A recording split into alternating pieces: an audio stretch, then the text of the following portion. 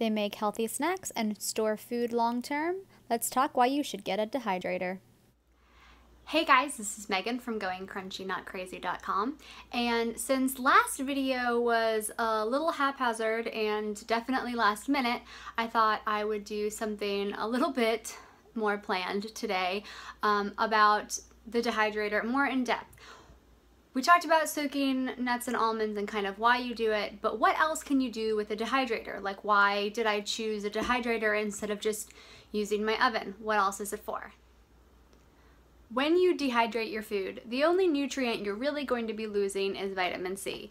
Vitamin C is sensitive and the heat and uh, the time will degrade it, but most other vit vitamins and nutrients are going to get uh, more dense in the food. You're losing all the water, so you're losing a lot of that excess and they're getting concentrated. So you're getting more bang for your buck.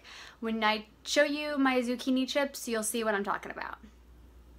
So here's the dehydrator that I use. I just got the Presto. It is um, a really great, super um, affordable option. It came with five of these guys. These are the trays that you've seen in the other videos. It's great to stack. Sorry, they stack and they store tight together so it doesn't take up a lot of space and then they flip out and create an air pocket if you can see right here for all that hot air to come through. The very bottom is where the heat comes. I need to clean it. I just took those almonds out. Um, but that is where the heat comes through. Comes all the way up through the top and then through the lid there are some perforations um, so all of that moisture escapes through the top. Again, I can see through it. It's really easy to tell what's going on. The green light tells me it's on and that is it. It's pretty much idiot proof. We dehydrate veggies, fruits, and berries to store long term and for just snacks around the house. I love veggie chips.